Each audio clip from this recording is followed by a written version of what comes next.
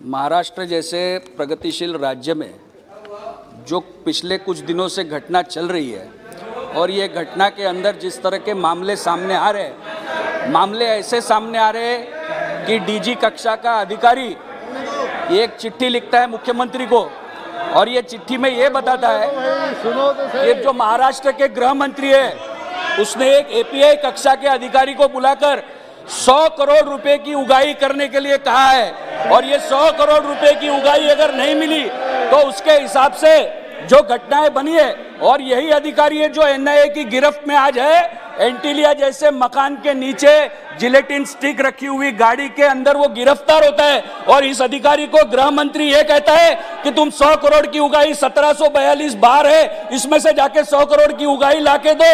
ऐसी घटना के अंदर और कल तक जो बात चली थी, गृह मंत्री ने इस्तीफा देना चाहिए। आज तक ये चिट्ठी आने के बाद मुख्यमंत्री जी ने कुछ भी नहीं कहा इसके ऊपर। एक शब्द मुख्यमंत्री जी नहीं बोल रहे। ये महाराष्ट्र की सरकार जिस तरह से चल रही है वहाँ के लोगों में, महाराष्ट्र के लोगों में ये धारणा है कि ये लूटपाट करने के लिए, लूटने और व्यापारियों को डराने के लिए सरकार का उपयोग हो रहा है। सरकार अपने अधिकारियों को, अपने प्यादों को इस तरह से इस्तेमाल कर रही है कि 100-100 करोड़ की उगाई केवल मुंबई जैसे शहर में और शहरों का क्या हाल होगा और शहरों का आंकड़ा क्या है? तो मेरी आपसे सरकार से ये मांग है कि इस पे कार्रवाई होनी चाहिए सीबीआई से इसकी जाँच होनी चाहिए और महाराष्ट्र की सरकार को ताबड़तोड़ इस्तीफा देना चाहिए। मुख्यमंत्री और गृह मंत्री ने इस्तीफा देना चाहिए। श्री राकेश सिंह जी। सभापति महोदय सभापति महोदय अभी अभी हमारे साथी माननीय कोटक जी ने बात रखी है। मैं उसमें से किसी भी बात को दोहराऊँगा नहीं। महोदय, ये पूरी दुनिया जानती है, भारत दुनिया का सबसे बड़ा लोकतंत्र है। जहाँ लोकतंत्र है, वहाँ लोकतांत्रिक मूल्यों की स्थापना की ज़िम्मेदारी भी सरकारों की है। लेकिन जब यह ज़िम्मेदारी शासकीय अधिकारी या पुलिस अधिकारियों की पोस्टिंग की नीलामी में बदल जाए, तब यह विषय किसी राज्य का नहीं होता यह देश का विषय बन जाता है। सभापति महोदय, महत्वपूर्ण बात, जो सदन को जानना चाहिए, वहाँ पर आखिरकार क्या वजह है? जिस एएसआई की बात आ रही है, जिसको 100 करोड़ रुपए का लक्ष्य दिया गया था, उस एएसआई के समर्थन में शायद देश की पहली घटना होगी कि मुख्यमंत्री उसके समर्थन में प्रेस कॉन्फ्रेंस करते हैं और ये बताते हैं कि वो देश का सर्वश्रेष्ठ पुलिस अधिकारी है। बाद में 100 करोड़ रुपए का आरोप लगाने वाला व्यक्ति भी कोई और नहीं है। उनका ही पुलिस कमिश्नर है और ये वो पुलिस कमिश्नर है जिसकी तारीफ़ में बाकायदा सरकारी पत्र में लेख लिखे जाते हैं। क्या वजह है सभापति महोदय? कि एक पुलिस कमिश्नर जिसकी तारीफ़ में, अखबार में लेख लिखे जाते हैं।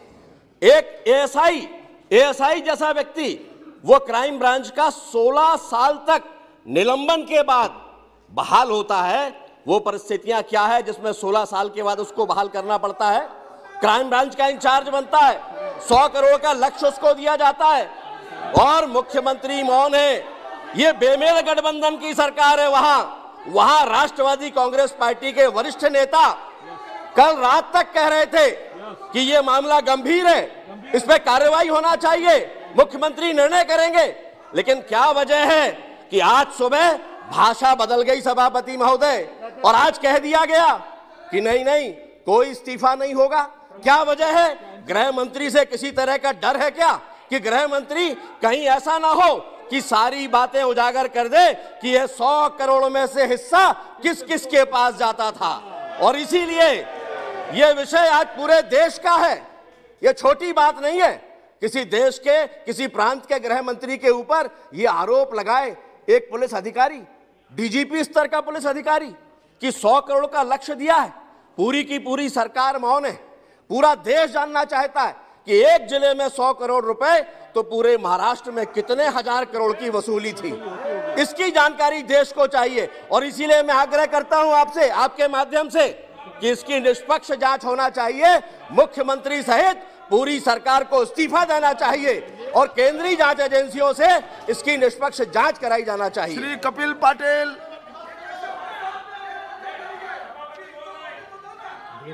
आपको आएगा आपको नंबर आपका आएगा। आपको मौका मिलेगा आपको मौका मिलेगा। प्लीज़ अभी बैठिए। आपको अभी नेक्स्ट आपको अगला आप बैठिए। कपिल पाटिल। मुंबई के कमिश्नर ने रखिए। मुख्यमंत्री को जो पत्र दिया है वो आपको आपको। गंभीर पत्र है। अध्यक्ष महोदय इस विषय में मुख्यमंत्री जी ने इंक्वायरी करने के बजाय वो लेटर के ऊपर अपनी प्रतिक्रिया अलग अलग तरह से दी है। ये पहला लेटर नहीं है। इसके पहले महाराष्ट्र के डीजी ने भी एक लेटर दिया था सुबोध कुमार जी ने। वो वहाँ से जो महाराष्ट्र सरकार में चला है ये सब घोटाला उसको कंट्रोल के वो प्रतिनियुक्ति पे केंद्र सरकार में आ गए। जो नेक्स्ट नेक्स्ट नेक्स्ट आपको है। सौ करोड़ रुपया एक पीआई को बोला जाता है एपीआई को बोला जाता है वसूल करने के लिए। ये अति गंभीर बाब है। संक्षेप में। मैं आपके माध्यम से सदन को जी। ये बताना चाहता हूँ कि कल इस मामले में ये वरिष्ठ नेताजी ने कहा था कि मामला अति गंभीर है लेकिन शाम तक क्या परिवर्तन हो गया पता नहीं। बाद में कहा गया कि अभी रिजाइन देने की ज़रूरत नहीं है। इसका मतलब ऐसा है कि शायद गृह मंत्री जी ने बोला होगा कि अगर मेरा रिजाइन लिया तो मैं सारो सारे नाम ले लूँगा सबकी पोल खोल दूँगा। श्री ऐसा अगर हुआ है तो इसकी जानकारी जी। सभापति महोदय सभापति महोदय धन्यवाद। जी, जी, जी। सभापति महोदय धन्यवाद। आपके सभापति आपके नेता बोल रहे हैं प्लीज़ बैठ जाइए। बस आप विनायक राव जी प्लीज़ सभापति महोदय धन्यवाद। पिछले एक पिछले चौदह महीने में कई प्रयास करने के बाद भी महाराष्ट्र के महाविकास आघाड़ी को आघाड़ी का जो सरकार है, जहाँ का नेतृत्व माननीय उद्धव जी ठाकरे मुख्यमंत्री के नाते से कर रहे इस सरकार को दूर करके अपना भाजपा का सरकारवाद स्थापित करने के जो प्रयास चल रहे थे, वो पूरी तरीके से असफल हुए हैं। पूरी तरीके से असफल हुए इसके लिए कई कपट नीति राजकीय कपट नीति चलाने का काम दुर्भाग्य से केंद्र सरकार के माध्यम से हो रहा है सभापति महोदय। हो रहा है। और जिस जिस परमवीर जिस, परमवीर सिंह का उल्लेख लेटर का उल्लेख लेकर आज यहाँ ज़ीरो ओवर में बात करने का आपने मौका दिया सभापति महोदय ये परमवीर सिंह है कौन? है कौन? नाम- यही नाम। परमवीर सिंह।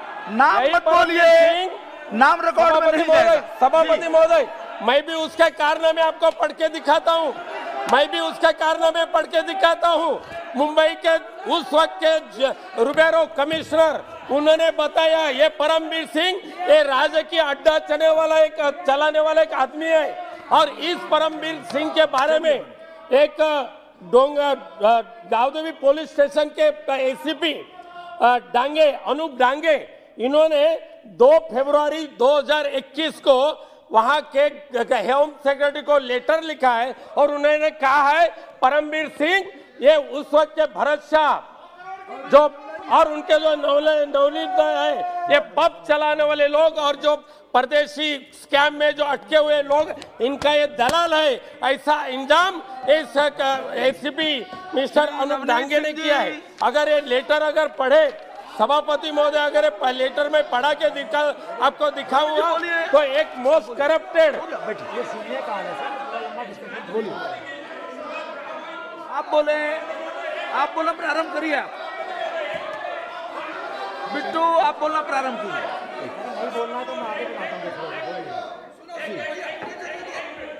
आपका नाम बोला जा चुका है। रवनीत जी। श्री गिरीश बापट जी। अध्यक्ष महाराज अध्यक्ष महोदय या महाराष्ट्रामध्ये आजपर्यंत गुन्हेगार खंडणी मागत होते. आता सरकार खंडणी मागायला लागले. गृहमंत्री खंडणी मागायला लागलेत म्हणजे कुंपण शेत खायला लागले. पाण्याला तहान लागले आणि सरकार भ्रष्ट होत चालले. त्यामुळे ताबडतोब महाराष्ट्रामध्ये राष्ट्रपती राजवट लागू करा आणि या गुन्हेगारांना आतमध्ये टाका. ही आमची सगळ्या सभागृहात मागणी आहे. महाराष्ट्रामध्ये कायदा सुव्यवस्था राहिलेली नाही. कायदा सुव्यवस्थेचे दिंडोडे उडालेत. महाराष्ट्र राज्य आज एक कायदा सुव्यवस्थेत पूर्णपणे बुडालेला आहे. पोलीस खंडणी मागायला लागलेले आहेत. त्या पोलिसांना मंत्र्यांचा आशीर्वाद आहे. मुख्यमंत्र्यांचा आशीर्वाद आहे. श्री रवनीश सिंह जी बोलिए प्लीज चेयरमैन साहब ये बहुत ही गंभीर मुद्दा है। इस पे अकेली महाराष्ट्र की बात नहीं है, सारे देश की बात है और बहुत ही ये चिंता की बात है। लेकिन ये होता कहाँ है? क्यों जहाँ पे ऑपोजिशन गवर्नमेंट्स हैं, वहाँ पे ये फेडरलिज्म क्यों तोड़ा जाता है? वहाँ पे क्यों देश में की एजेंसियाँ आके दखल देती हैं? और उसके बाद सर पॉलिटिकल लोग हम एक दूसरे के ऊपर दूषणबाजी करके जो ऑफिसर रहते हैं वो बच जाते हैं। मेन कल्प्रेट सर इसमें ऑफिसर हमेशा होते हैं। लेकिन हम पॉलिटिकल एक दूसरे पे लोग पार्टियों पे लगा के वो ऑफिसर जो होते हैं, वो निकल जाते हैं। हम अपने आप को ज़रूर बुरा भला यहाँ कह के, चाहे असेंबली हो, चाहे पेपर्स हो, चाहे पार्लियामेंट हो। लेकिन सर अफसर नहीं निकलने चाहिए। यही ऑफिसर था जो उनको बहुत अच्छा लगता था। यही ऑफिसर है जो आज जिन्होंने ये काम किया। ये दोनों तरफ़ ऑफिसर रहते हैं। लेकिन वहाँ की सरकार के ऊपर, सर, अगर यहाँ से आप ऑफिसर भेजेंगे तो बर्दाश्त नहीं किया जाएगा महाराष्ट्र में। ऐसा एक स्टेट है, ऐसी शानदार स्टेट है जो आप, वो भी मध्य प्रदेश की तरह तोड़ना चाहते हैं वहाँ पे सरकार आप। ये बर्दाश्त नहीं किया जाएगा। बाहर की एजेंसियाँ बिल्कुल वहाँ पे इंटरफियर करेंगी, ये बर्दाश्त नहीं किया जाएगा। आपका बहुत बहुत धन्यवाद। जिस हिसाब से मेरे कोलीग्स ये हाउस में ये बता रहे हैं, महाराष्ट्र में किस तरीके से खंडनी वसूली का काम किया जा रहा है, मैं आपको बताना चाहूँगी, जो व्यक्ति 16 साल सस्पेंड रहा, जो व्यक्ति 60 दिन पुलिस स्टेशन में रहा, जेल में रहा, उसे फिर से रीज्वाइनिंग किस बेस पे की गई? जब बीजेपी की सरकार थी, जब उद्धव साहब ने खुद माननीय देवेंद्र फडणवीस साहब को फ़ोन किया और उन्होंने कहा, इस व्यक्ति को, सचिन वाजे को, इनको रीस्टेट कराना चाहिए रीज्वाइनिंग सर्विस देनी चाहिए। तब आदरणीय फडणवीस साहब ने उन्होंने स्पष्ट नकार दी। उनकी पूरी हिस्ट्री देखते बराबर उन्होंने नकार देते हुए उन्हें ज्वाइनिंग नहीं कराई। जिस दिन उद्धव ठाकरे की सरकार आई ठाकरे सरकार चेयर पे बैठे उसी वक्त परम सिंह जी को फ़ोन करके उन्होंने पहला काम कराया कि सचिन वाजे को ज्वाइन करवाइए। मुझे बताइए आप सचिन वाजे के कारण परमवीर सिंह को सस्पेंड कराते हैं उनकी बदली करवाते हैं। मुझे आपसे एक विनंती करना है कि गृह गृह मंत्री का नाम आ रहा है। अध्यक्ष महोदय बहुत इंपॉर्टेंट सब्जेक्ट है। अगर इस तरीके से देश में खंडनी वसूली का चक्कर शुरू हुआ तो पूरे देश में ये चीज़ों को फॉलो किया पी.पी. जाएगा। चौधरी जी। मैं आपसे विनंती करती हूँ। दो मिनट दो मिनट सर। दो मिनट सर। सर जिस तरीके से बाकी लोगों पे आरोप लगे मैं आपको बताती हूँ कि दे हमारे महाराष्ट्र में मुख्यमंत्री जी के ही बोलने के कारण ये सब प्रकरण चल रहा है। बाकी कोई इसमें इन्वॉल्व नहीं है। किसकी ट्रांसफ़र कहाँ से करनी है किससे खंडनी वसूल करनी है? और ये जो यहाँ पर खड़े हैं जो सीएसआर फंड के बारे में बात कर रहे हैं अगर सिर्फ़ मुंबई से 100 करोड़ वसूली अगर महीने की होती होगी तो पूरे महाराष्ट्र से प्रारंभ कीजिए। आप बोलिए। चौधरी साहब आप प्रारंभ कीजिए। सभापति सभापति महोदय आपको बहुत बहुत धन्यवाद। एक बहुत ही महत्वपूर्ण विषय पे बोलने का मुझे मौका दिया। मैं ये बताना चाहूँगा कि पुलिस अधिकारी ने चिट्ठी लिखने के पहले मुख्यमंत्री जी से मुख्यमंत्री को ब्रीफ किया और उप मुख्यमंत्री को ब्रीफ किया और उसके बाद में और जो कि नहीं करना चाहिए था, वो एनसीपी के सुप्रीमो को भी ब्रीफ किया। और उनको ब्रीफ करने की क्या ज़रूरत थी और उसको ब्रीफ करने के बाद उसने मजबूर होकर के ये पत्र लिखना पड़ा और पत्र में बहुत ही गंभीर आरोप और ऐसे आरोप के पूरा जो उससे लगता है ये बहुत ही पूरा का पूरा एक गिरोह बना था कि 100 करोड़ रुपया एक महीने के लिए उगाई करने का। और मैं ये कहना चाहता हूँ ऐसे मामले में महाजन पूनम जी। सर सर, ये तीन पहियों की सरकार है। एक पहिया दूसरे के साथ चल नहीं रहा है। महाराष्ट्र में ये सवाल उठाया जा रहा है कि आज एक डीजी लेवल के आईपीएस ऑफिसर जब कह रहे हैं कि एक एपीआई को 100 करोड़ महीने की वसूली करने कहा जा रहा है तो आप उसका गणित करेंगे।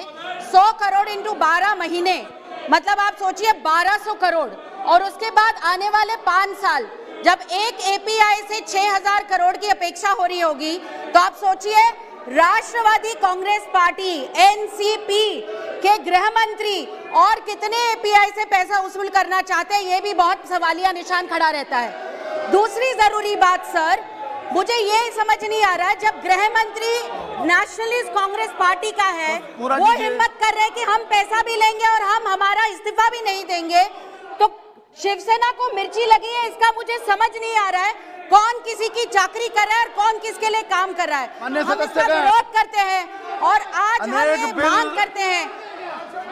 संसद को पारित करने हैं काफ़ी